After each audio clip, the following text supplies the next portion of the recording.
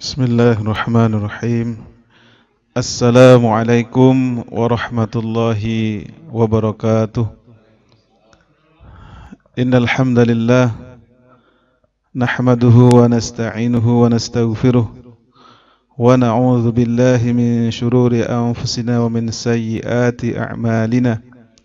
من يهده الله فلا مضل له ومن يضلل فلا هادي له. أشهد أن لا إله إلا الله وحده لا شريك له وأشهد أن محمدا عبده ورسوله لا نبي بعده. قال الله تعالى في كتابه الكريم يا أيها الذين آمنوا اتقوا الله حق تقاته ولا تموتن إلا وأنتم مسلمون. يا أيها الناس اتقوا ربكم الذي خلقكم من نفس واحدة وخلق منها زوجها وبث منهما رجالا كثيرا ونساء واتقوا الله الذي تساءلون به والأرحام إن الله كان عليكم رقيبا.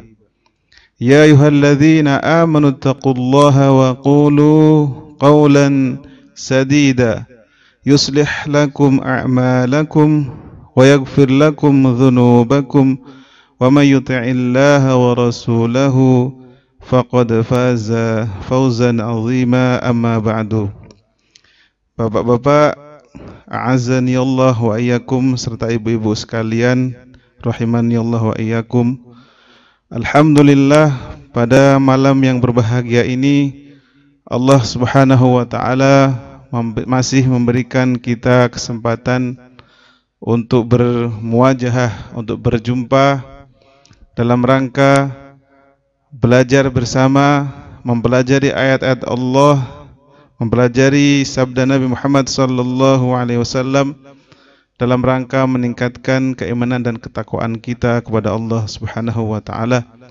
Karena sesungguhnya kita dianjurkan oleh Allah untuk semakin meningkatkan keimanan dan ketakwaan kita dan semoga kita semua meninggal dalam keadaan beriman dan berislam. Amin amin ya rabbal alamin. Kemudian salawat dan salam semoga tetap tercurah terlimpahkan atas junjungan kita tauladan kita, uswah kita, nabi kita Nabi Muhammad sallallahu alaihi wa ala alihi wasallam. Semoga salawat dan salam semoga tetap tercurah kepada beliau dan sesungguhnya kalau kita membiasakan salawat kepada Nabi kita Nabi Muhammad sallallahu alaihi wasallam insyaallah hidup kita akan menjadi tentram, menjadi bahagia. Insya Allah pada malam hari ini kita mencoba untuk mengkupas atau membahas satu materi yang penting bagi kita yaitu bagaimana cara kita hidup agar bahagia.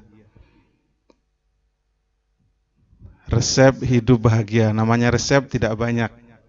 Begini, begini, satu, dua, tiga, empat seperti itulah insya Allah nanti yang akan kita sampaikan. Adapun materi rujukan kita adalah buku Al-Was Al-Wasailu Al-Mufidatu Lil Hayatis Sa'idah. Pengarangnya Syekh Abdul Rahman bin Nasir As-Sa'di. Ini rujukan utama. Di sini ada 21 tips, 21 resep untuk hidup bahagia. Tapi tidak akan kita sampaikan semuanya, tapi kita akan rangkum. Insya Allah nanti semoga waktunya mencukupi. Ada 11 resep yang insya Allah bisa kita gunakan untuk mencapai kebahagiaan. Semoga Allah Subhanahu wa Ta'ala memberikan kepada kita kebahagiaan yang kita inginkan bersama. Bapak-bapak, ibu-ibu, rahimani Allah wa iyyakum. Saya kira semua kita pasti kadang mengalami galau ataupun mungkin sekarang kita sedang galau. Ada mungkin yang kita saat ini sedang mengalami kesedihan atau ada juga yang merasa tidak bahagia dalam hidupnya. Bukan berarti saya di sini sudah bahagia, Saya tidak punya masalah, tidak punya permasalahan yang dihadapi. Tidak kita semuanya bersama di sini belajar. Ya, kita ini wajah-wajah yang nggak bahagia tampaknya. Jadi wajah kita wajah yang banyak masalah. Jadi Bapak, saya sendiri juga punya banyak masalah ya. Sekolah belum selesai-selesai, ini masalah juga. Jadi ini sudah empat tahun tapi belum selesai. Itu masalah. Ada juga orang yang anaknya belum nikah misalkan. Bingung juga orang tuanya. Atau ada orang menikah tapi belum punya keturunan. Bingung juga masalah. Atau nggak punya rumah. Di sini semua orang nggak punya rumah nggak masalah. Yang penting bisa ngeren. Atau ada banyak masalah. Tetapi Bapak Ibu sekalian, apakah bahagia, bahagia itu berarti tanpa masalah? Bukan berarti orang bahagia itu tanpa masalah, bukan. Tetapi yang akan kita bahas di sini adalah bagaimana kita berada dalam samudra permasalahan tetapi kita tetap tetap merasa bahagia dalam hidup kita. Karena nggak mungkin kita sebagai makhluk hidup akan bebas dari masalah. Tetapi bagaimana kita memanage masalah itu sehingga kita tetap bahagia. Jadi poinnya di sini jangan dianggap bahagia itu tanpa masalah. Tetapi bagaimana kita menjadikan masalah-masalah yang ada pada diri kita sebagai jembatan kita menuju kebahagiaan. Inilah kita seorang mukmin. Bagaimana? Nah, ini yang kita akan baca resepnya. Mari kita dengarkan beberapa nasihat-nasihat dari Syekh Abdurrahman bin Nasir As-Sa'di rahimahullah. Sebagaimana saya katakan tadi ada 11 yang ingin ingin kita sampaikan. Lewat saja langsung saja kita bahas. Yang pertama, rahasia atau resep untuk bisa hidup bahagia adalah iman dan amal soleh. Kata Allah Subhanahu wa taala, "A'udzu billahi rajim." 'Amila salihan min dzakarin aw untha wa huwa mu'min. Barang siapa yang beramal soleh di sini Islam tidak membedakan dari laki-laki atau wanita. Semua sama. Sejak zaman dahulu Islam sudah menjunjung tinggi wanita. Islam tidak merendahkan wanita. Buktinya di sini kata Allah, "Man 'amila salihan min dzakarin aw untha." Satu ini syaratnya. Barang siapa yang beramal soleh dari laki-laki atau perempuan sama saja. Wa huwa mu'minun dan mereka itu orang beriman. Kata apa? Kata Allah apa? Falanuhyiyannahu hayatan thayyibah. Kami akan berikan kepada mereka hidup yang baik, hidup yang toyib. Bapak Ibu sekalian perhatikan tulisan merah falanuhyiyannahu. Di sana ada lam di depannya. Di belakangnya ada nun taukid. Lam di depan itu adalah lam penegasan. Nun tasdid di belakangnya itu penegasan. Sehingga ibu-ibu bapak-bapak sekalian, penegasannya ini dua kali. Sungguh benar-benar kami akan berikan hidup yang baik kepada orang itu. Siapa? Kepada orang yang beramal soleh dan orang yang beriman. Janji Allah. Jadi syaratnya sebenarnya ini syarat utama dari semuanya. Pokoknya yang pertama iman dan amal soleh. Kalau kita memiliki dua ini sudah pasti hidup kita bahagia. Ini sudah janji dari Allah Subhanahu Wa Taala. Sekali lagi bahagia di sini bukan lepas dari masalah. Masalah kita banyak, tetapi kita mampu memanage masalah itu membentuk energi yang positif sehingga kita menjadi bahagia. Nah, bukan hanya itu, Bapak Ibu sekalian. Allah tambahkan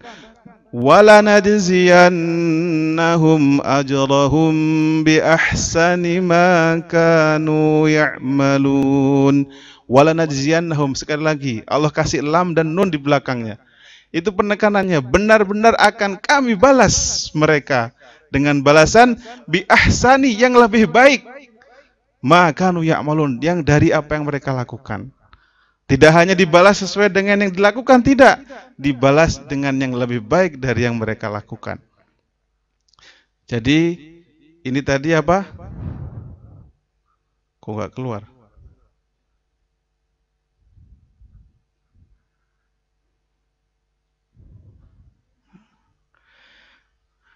Ya, jadi balasannya lebih baik dari yang mereka lakukan. Mungkin Bapak Ibu bertanya, kok bisa orang beriman ini bahagia?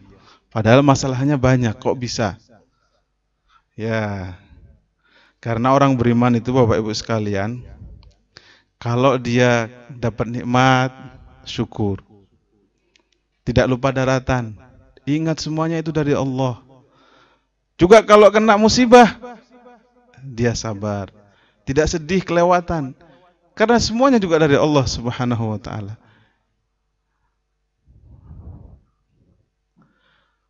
Allah Subhanahu wa taala berfirman tentang Nabi Sulaiman. Kata Nabi Sulaiman apa? Ketika mendapatkan kenikmatan yang banyak, "Hadza min fadli rabbi." Semua ini adalah dari karunia dari Tuhanku. Liya beluani ashkuru am akfur untuk menguji aku apakah aku orang yang bersyukur ataukah aku orang yang ingkar. Jadi waman syakara fa inna ma yashkuru li nafsih, barang siapa yang bersyukur sesungguhnya dia telah bersyukur kepada dirinya sendiri. Waman kafara fa inna rabbi ghaniyun karim. Adapun orang yang ingkar, sesungguhnya Allah itu maha kaya. Allah nggak perlu disyukuri oleh kita. Allah nggak perlu kita bersyukur kepada Allah karena Allah maha kaya. Yang perlu itu kita. Jadi ini ciri orang beriman. Jadi orang beriman kalau dapat harta banyak, kenikmatan, semuanya rumahnya mewah, mobilnya bagus, anak-anaknya sukses semuanya, dia bersyukur kepada Allah. Dia tidak tidak sombong. Sedangkan kalau didapat kalau mendapatkan musibah, apa yang dilakukan orang beriman? Dia sadar dari Allah. Ma asaba min musibatin illa biiznillah. Tidaklah ada suatu musibah yang menimpa seseorang kecuali dengan izin Allah. Kalau dia ditimpa musibah sedih sekarang, aduh gimana ini, aduh gimana, aduh gimana, dia nggak sedih karena dia yakin semuanya dari Allah. Allah tambahkan, wa may yu'min billah, barang siapa yang beriman kepada Allah, yahdi qalbah, Allah akan tunjuki hatinya, wallahu bikulli syai'in alim. Dan Allah itu Maha mengetahui atas segala sesuatu. Ditunjuki hatinya, dijadikan tenang hatinya, dijadikan hatinya bahagia meskipun dapat musibah. Meskipun dapat musibah, tetap hatinya bahagia. Karena apa? Semuanya dikembalikan kepada Allah. Semuanya dari Allah. Syukur. Alhamdulillah. Dapat nikmat banyak bersyukur. Dapat musibah, tidaklah sedih kelewatan. Sedih, wajar sedih. Tetapi kemudian dia ingat semuanya ini adalah dari Allah Subhanahu wa taala. Dikembalikan semuanya kepada Allah karenanya Allah memberikan petunjuk kepada hatinya. Kemudian Nabi Shallallahu Alaihi Wasallam bersabda, "Ajaban li amril mu'min." Sungguh mengherankan urusannya orang beriman. Orang beriman ini heran. Enggak kata Nabi, "Inna amrohu kullahu lahu khair." Sesungguhnya semua urusan beri, orang beriman ini baik. Bagi dia, bagi orang beriman itu baik aja semua. Walaisa dzalika li ahadin illa li mu'min Tidaklah ini terjadi kecuali pada orang beriman. Orang kafir nggak bisa merasakan begini. Ya, jadi semuanya baik. In asabathu sarra syakara. Kalau dia diberi Allah kegembiraan, kesenangan, dia bersyukur kepada Allah. Fakana khairal lahu. Yang demikian itu baik bagi dia. Wa in asabathu dharra, kalau dia ditimpa musibah, sabaro, dia bersabar. Fakana khairul lahu dan ini yang terbaik bagi orang itu. Jadi inilah orang beriman. Entah itu kondisinya senang, entah itu kondisinya susah, semuanya bahagia. Karena apa? Karena semuanya dikembalikan kepada Allah. Kalau dapat kenikmatan syukur, kalau dapat musibah dia sabar. Orang kafir gimana kalau orang kafir? Ini ceritanya Korun. Kalau Korun itu kata di sini dalam surat Al-Qasas, sesungguhnya Korun adalah termasuk kaum Musa. Maka ia berlaku aniaya terhadap mereka dan kami telah menganugerahkan kepadanya perbendaharaan harta yang kunci-kuncinya sungguh berat dipikul oleh sejumlah orang yang kuat. Kunci gudangnya ini berat sekali dipikul oleh orang-orang kuat. Saking hebatnya karunia yang Allah berikan kepadanya. Ingatlah ketika kaumnya berkata kepadanya, Korun, janganlah kamu terlalu bangga. Jangan kamu terlalu bangga. Sesungguhnya Allah tidak menyukai orang-orang yang membanggakan diri. Orang-orang yang terlalu membanggakan diri. Apa kata Korun? Qala innama utidhu ala ilmin indi. Kata Korun, sesungguhnya hartaku yang sebanyak ini Nah, ini karena ilmu, karena ilmuku. Aku pinter berdagang, aku pinter cari rezeki, aku pinter, aku pinter, aku pinter. Nah, Bapak Ibu sekalian, kalau kita merasa ada perasaan seperti ini, ini ciri-cirinya orang tidak beriman. Ini ciri-cirinya keturunannya korun. Maka, karena itu kita perlu hilangkan. Kita kalau dapat bahagia, gimana orang beriman? Bersyukur. Dapat kesenangan bersyukur. Jangan sampai seperti korun. Orang kafir kalau dapat musibah gimana? Kalau dapat musibah, orang kafir senangnya nyalahin orang. Katanya apa? Terhadap orang-orang kafir terhadap Nabi Soleh. Qalu tayyarna bika wa bima ma'ak. Qala ta'idukum indallah bal antum qawmun tuqtanun tuftanun. Mereka menjawab, kami dapat nasib malang seperti ini disebabkan oleh kamu dan orang-orang yang mengikuti kamu wahai soleh. Ya, jadi kalau kita suka nyalahin orang, nah ini kita ada ciri-ciri orang yang tidak bersyukur, orang yang ingkar kepada Allah. Jadi kalau dapat musibah jangan nyalahin orang. Gimana caranya? Ma musibatin illa biiznillah. Tidak ada musibah yang menimpa kita kecuali izin Allah. Jadi semuanya dari Allah, gak usah menyalahkan orang. Kalau menyalahkan orang seperti kaumnya soleh, inilah ciri-ciri orang kafir. Jadi syarat pertama untuk bahagia adalah kita perlu beriman dan beramal soleh. Orang beriman kalau dapat kenikmatan, syukur. Kalau dapat musibah, sabar. Syukur karena semuanya adalah nikmat dari Allah. Kalau dapat musibah, sabar. Semuanya juga dari Allah Subhanahu wa taala. Jadi masalah serumit apa pun kita terima. Kesenangan sesenang apa pun kita terima, tidak melalaikan kita. Jadi resep pertama agar kita bahagia adalah kita beriman dan beramal soleh. Cirinya orang beriman apa? Saat dapat nikmat syukur, saat dapat musibah sabar. Kemudian resep yang kedua, banyak-banyak zikir kepada Allah. Banyak mengingat kepada Allah Subhanahu wa taala. Allah Subhanahu wa taala berfirman, "Alladzina amanu." Ya, orang orang-orang beriman itu wa tatma'innu qulubuhum bi dzikrillah Hati-hati mereka itu tentram dalam mengingat Allah.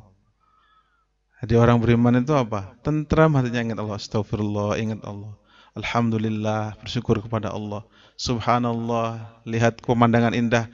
Kalau jalan-jalan Australia ini banyak pantai indahnya. Wah, jangan, woi, indah sekali. Ingat subhanallah, maha suci Allah. Jadi zikir. Nah, ala bi dzikrillah tatmainnul qulub. Ketahuilah bahwasanya dengan zikir, dengan ingat kepada Allah akan menjadikan hati kita tentram. Jadi kalau kita hati kita lagi sumpek, lagi galau, ingat kepada Allah. Ingat kepada Allah, zikir kepada Allah. Jadi kita perlu banyak ingat kepada Allah. Membaca Quran itu juga termasuk zikir. Meskipun nggak tahu artinya, apalagi kita tahu artinya.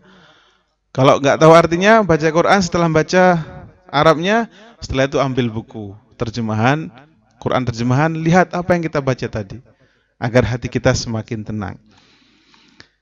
Kalau kita nggak mengingat Allah, apa yang terjadi? Kalau kita melupakan peringatan-peringatan Allah, kita meninggalkan Al-Quran, kita nggak mau mengingat Allah, lisan kita kering dari mengingat Allah, gerakan kita jarang dalam mengingat Allah, hati kita sering lupa dari Allah. Apa yang terjadi kalau demikian? Kata Allah, "Wa man a'rada 'an dzikri" Barang siapa yang berpaling dari mengingat kepadaku, berpaling dari peringatanku, fa innalahu ma'isyatan dongka, maka baginya kehidupan yang sempit Bapak Ibu sekalian. Bisa jadi kita selama ini susah, bingung, sempit gara-gara kita jauh dari Allah. Karena itu memang Allah jauhkan kita dari jadikan hati kita sempit. Jadi barang siapa yang berpaling dari peringatanku, lupa dari ingat kepada Allah, maka akan diberi kehidupan yang sempit. Wa nahsyuruhum yaumal qiyamati a'ma dan nanti akan dibangkitkan oleh Allah dalam keadaan buta. Jadi kita perlu Bapak Ibu sekalian dalam rangka mencari kebahagiaan yang kedua ada apa? Adalah mengingat Allah. Banyak-banyak membaca Quran, banyak-banyak berzikir, banyak-banyak sholat. Hati kita ingat kepada Allah selalu. Ini resep yang kedua. Resep yang ketiga, berprasangka baik kepada Allah.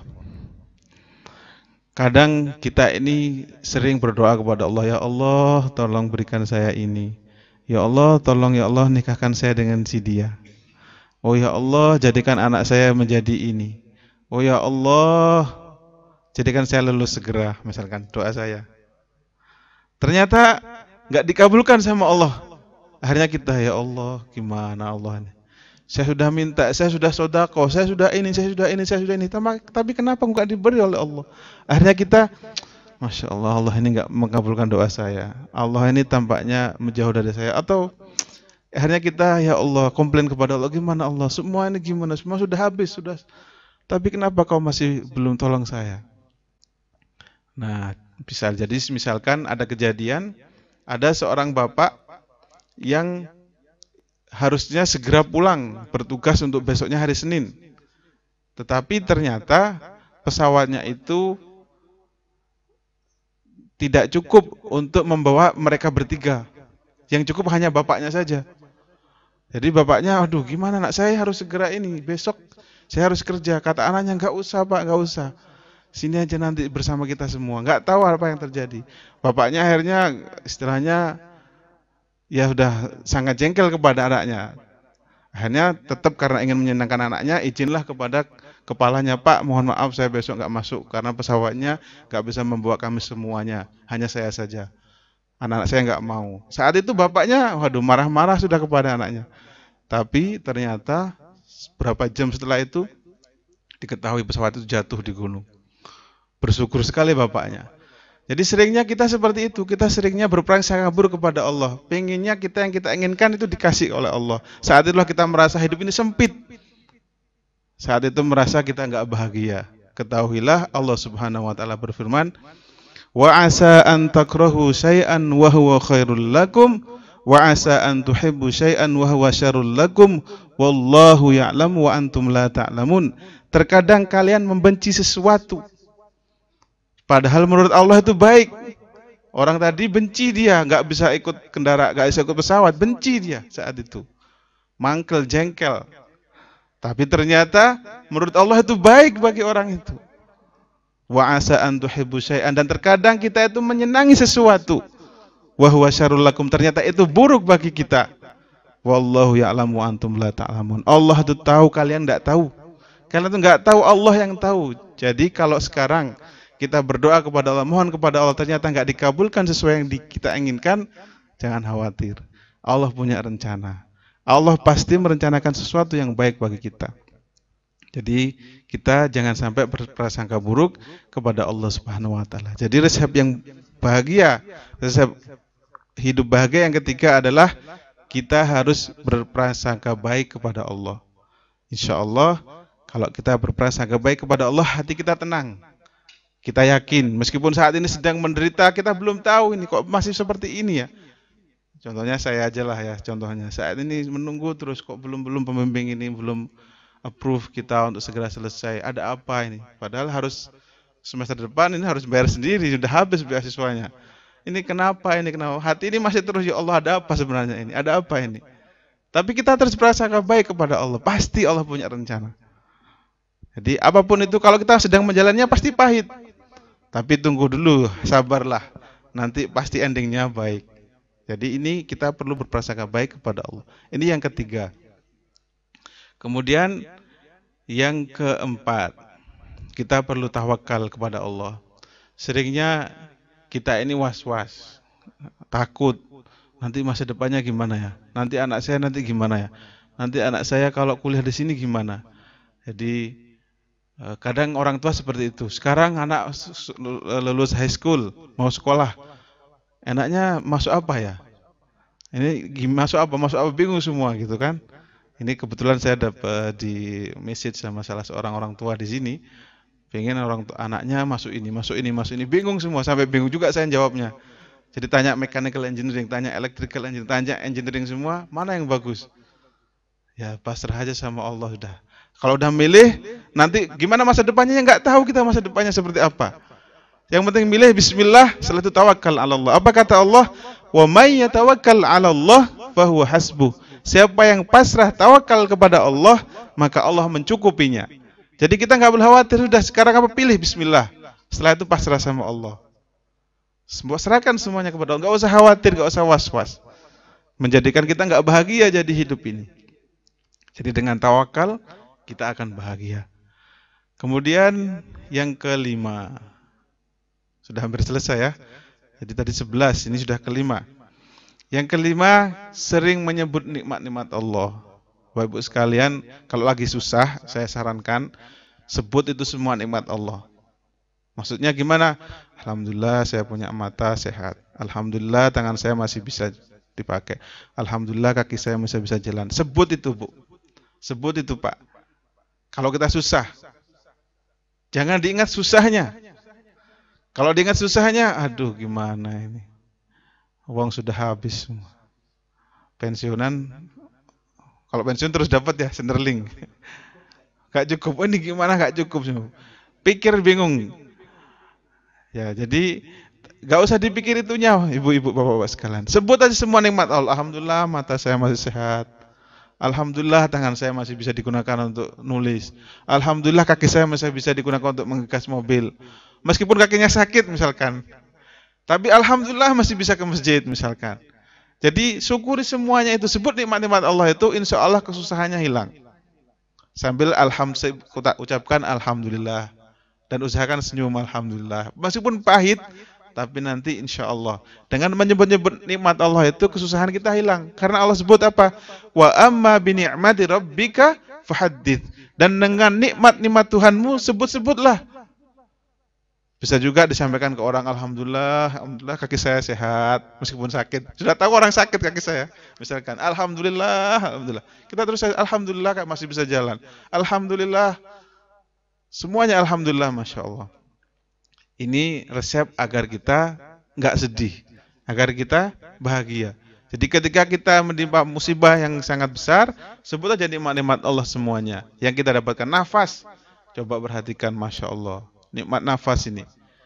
Alhamdulillah saya bisa bisa bernafas. Bangun pagi, alhamdulillah masih bisa bangun pagi. Masih diberi kesempatan oleh Allah untuk hidup. Dan kalau kita bersyukur kepada Allah dengan menyebut nama nikmat-nikmat Allah, maka ini mewujudkan syukur kita kepada Allah. Allah firmankan dalam surat Ibrahim, la in syakartum la azidannakum wa la in kafartum inna adzabi lasyadid. Kalau kita bersyukur, Allah tambahkan nikmatnya. Kalau kita kufur, azab Allah pedih. Jadi tip yang kelima, resep kelima agar bahagia, sebutlah nikmat-nikmat Allah itu. Disebut nikmat-nikmat Allah itu ketika kita dalam keadaan susah, gundah gulana. Kemudian yang keenam, berbuat baik kepada orang lain. Jadi berbuat kepada orang lain menjadikan kita ini bahagia. Kok bisa? Karena Nabi bersabda, "Wallahu fi aunil abdi, maka abdu fi auni akhihi." Sesungguhnya dan Allah itu senantiasa menolong seorang hamba selama hamba itu menolong saudaranya. Jadi kalau kita membantu orang lain, jangan khawatir. Pertolongan Allah di saat kita susah pasti datang. Yakinlah dengan itu, insya Allah hati kita bahagia, hati kita tenang. Kemudian Allah Nabi juga bersabda, "Wa man kana fi hajati akhihi, maka Allahu fi hajatihi." Barang siapa yang berusaha memenuhi kebutuhan saudaranya, maka Allah juga akan memenuhi kebutuhannya. Jadi menolong orang lain ternyata menjadikan kita hidup bahagia. Dan yang berikutnya adalah berdoa. Berdoa dengan doanya Rasulullah sallallahu alaihi wasallam. Di antaranya doa Nabi kepada orang-orang yang lagi sedih, kepada orang-orang yang lagi punya masalah, doa Nabi apa? Ada dua doa yang biasa disarankan Nabi. Yang pertama, Allahumma aslih li dini alladhi huwa ismatu amri wa aslih li dunyaya allati fiha ma'ashi wa aslih li akhirati allati fiha ma'adi waj'alil hayata ziyadatan li fi kulli khair waj'alil mauta rahatan li min kulli syarr Ya Allah ya Tuhanku perbaikilah bagiku agamaku sebagai benteng urusanku.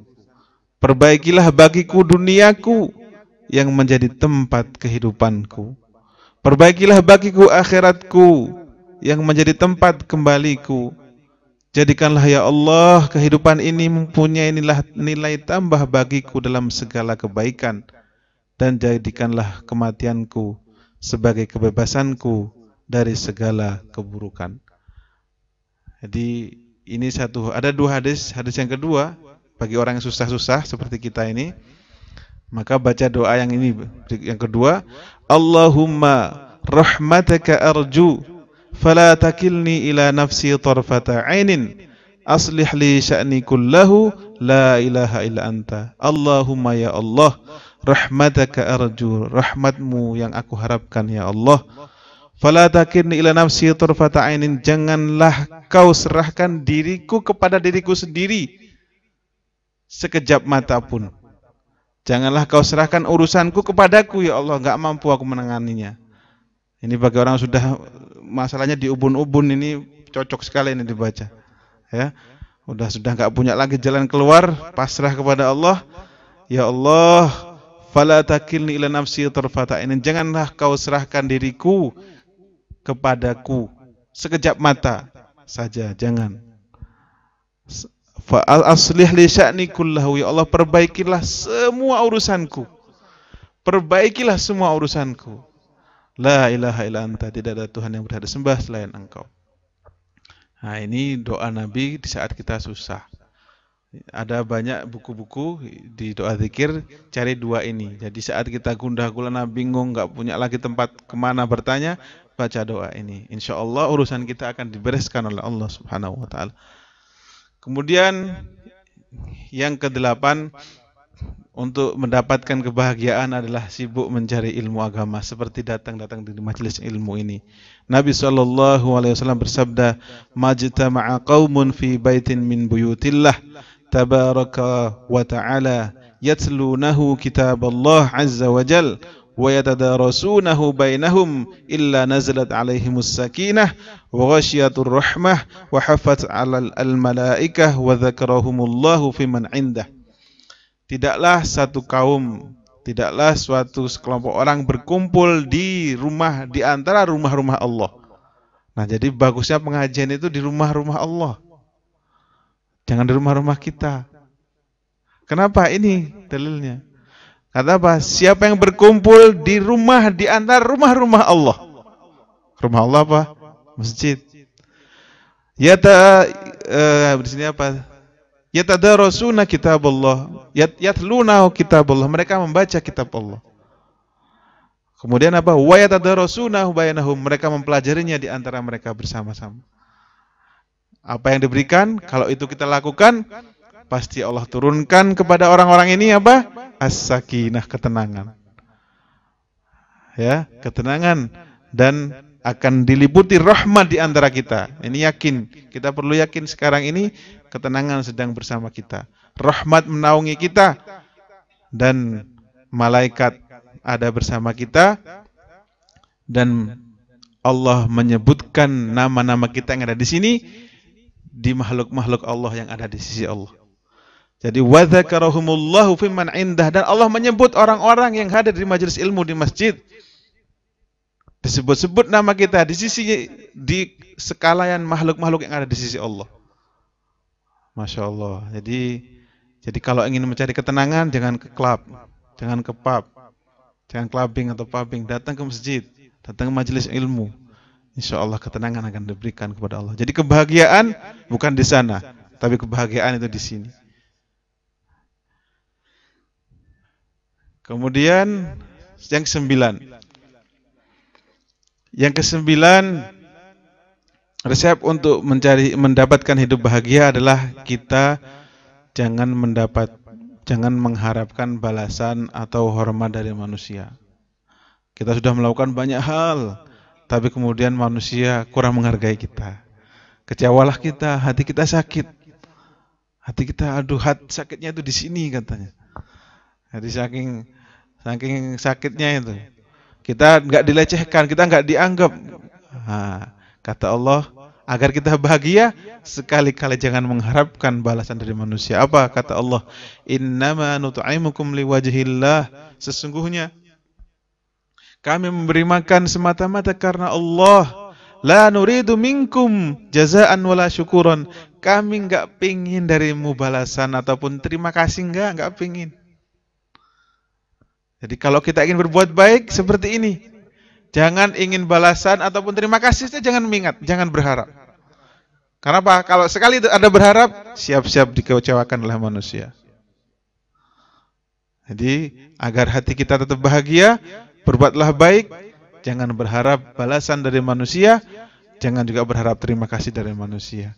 Kalau tidak, ya siap-siap aja dikecewakan oleh orang.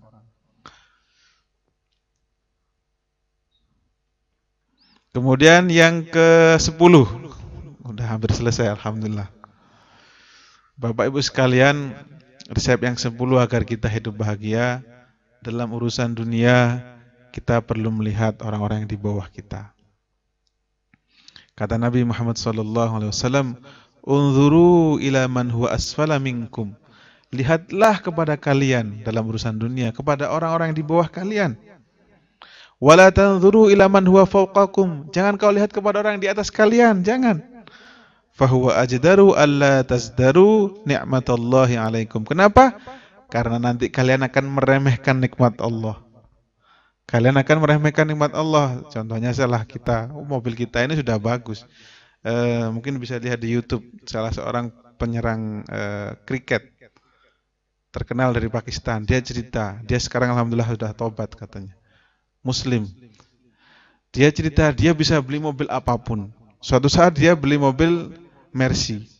Udah bagus sekali itu. Naik di kendaraan di sebelahnya ada orang pakai BMW. Waduh, kok kayaknya itu bagus itu. Kok mobil saya kok begini ya? Setelah itu apa? Belilah dia BMW. Sudah beli BMW, lihat lagi di jalan sampingan sama orang beli pakai Audi. Wih, kok kayaknya itu lebih bagus dari saya. Setelah itu apa? Dijual itu, beli lagi itu yang Audi. Apakah puas? Apakah bahagia? Katanya tidak. Tidak kebahagiaan, tidak ada kebahagiaan di sana. Itu sudah mampu membeli. Apalagi kita gak mampu membeli, tambah gak bahagia, tambah stres. Jadi agar kita bahagia, jangan melihat yang di atas kita dalam urusan dunia. Apalagi kita gak mampu mencapainya. Lihat teman kita, udah jamnya kok bagus dia. Kok jam saya begini? Jangan. Kata Nabi, agar kita bahagia, jangan lihat dalam urusan dunia orang di atas kalian. Jangan, tapi lihat di bawah. Masya Allah, ternyata mobilnya itu butut. Alhamdulillah mobil saya lebih bagus. Masya Allah, dia berjalan, naik kereta. Ah, saya naik mobil. Masya Allah. Jadi lihat yang di bawah. Mending saya, mending saya, mending saya. Jangan lihat, waduh dia enak, dia enak, dia enak. Jangan. Agar apa? Tujuannya kan mencari resep bahagia. Kalau kita mau nggak bahagia ya silakan aja lihat yang orang di atas dalam urusan dunia. Kalau ingin bahagia, lihatlah yang di bawah kita.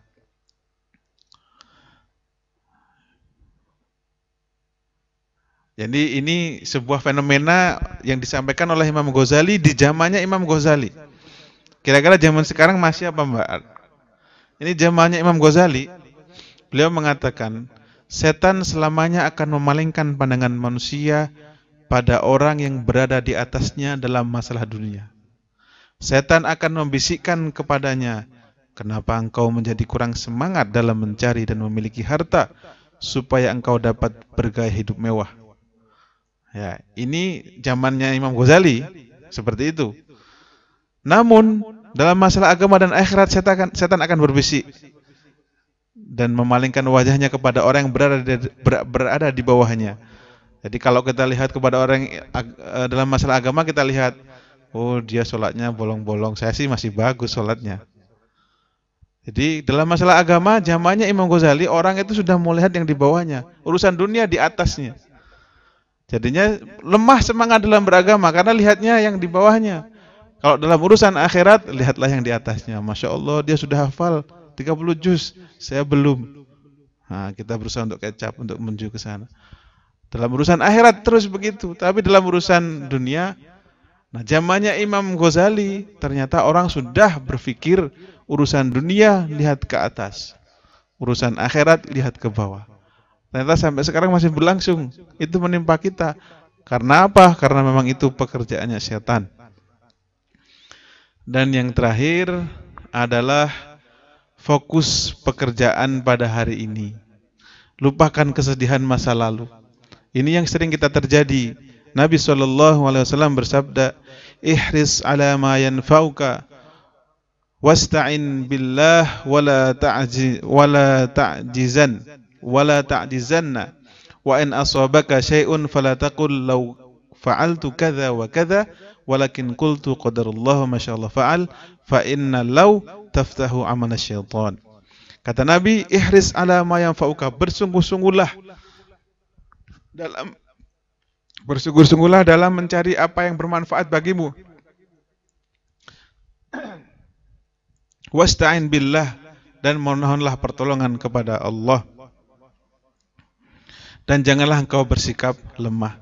Wa in asabatka syai'un kalau sudah kamu sudah diterima sesuatu, sudah sudah kejadiannya sudah selesai, jangan kau mengatakan seandainya ya tadi nggak begitu, seandainya tadi nggak begini, seandainya tadi saya ambil, seandainya tadi saya beli, seandainya saya tadi nggak jadi beli, seandainya tadi kita pergi ke sana nggak pergi ke sini. Misalkan macet-macet, masya. Seandainya tadi saya nggak lewat sini. Sering begitu kan? Seandainya seandainya kata Allah, kata Nabi, Jangan, jangan kau katakan seandainya. Yang lalu biarkan berlalu. Jangan diingat-ingat kesedihan yang lalu. Kata Allah, kena, kata Nabi, kenapa? Jangan ucapkan lau. Kenapa? Karena perkataan lau akan membuka pintu setan untuk mengganggu kita. Tapi katakanlah apa? Qadarullah wa masya Allah fa'al. Apa-apa Allah sudah mentakdirkan dan apa-apa yang Allah takdirkan pasti terjadi. Jadi intinya apa? Sudah kita fokus hari ini apa? Yang lalu sudah biar berlalu. Jangan lagi diingat-ingat yang berlalu. Sudah, jangan menjadikan kita bersedih. Tapi fokus ke depan bagaimana yang harus kita lakukan. Sekarang macet, ya udah sekarang fokus macet. Gimana mengatasi macet? Gak usah lagi kamu gara-gara kamu tadi nyuruh lewat sini. Istrinya dimarahi, anaknya dimarahi kadang ya. Gak usah sudah itu sudah terjadi. Tapi sekarang bagaimana mengatasinya? Ya sertel aja murotal ya, sambil menghafal Quran gitu. Dinikmati aja hidup itu. Nah, sabar sebagaimana tadi orang beriman. Nah, ini di antara 11 resep yang bisa kita gunakan untuk mencapai kebahagiaan dalam hidup. Sekali lagi, bahagia di sini bukan berarti tanpa masalah tetapi adalah bagaimana kita bisa memanage masalah itu sehingga kita bisa tetap enjoy dalam hidup, kita tetap bisa merasakan nikmatnya hidup, kita tetap bisa bahagia dalam menghadapi hidup. Semoga Allah Subhanahu wa taala memberikan kita hidayah untuk bisa mengamalkan 11 aktivitas 11 resep atau rahasia hidup bahagia ini sehingga kita bisa mencapai kebahagiaan hakiki yang dijanjikan oleh Allah dan Rasulnya Muhammad Sallallahu Alaihi Wasallam. Jika ada yang salah itu dari keselamahan saya, jika ada benar dari Allah Subhanahu Wa Taala. Terima kasih. Assalamualaikum warahmatullahi wabarakatuh.